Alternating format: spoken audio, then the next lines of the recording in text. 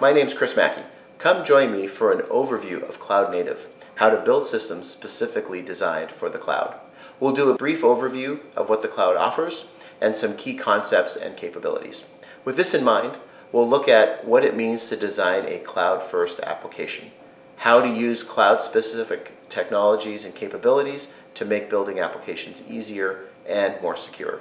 Lastly, we'll compare and contrast traditional application development with cloud-first development.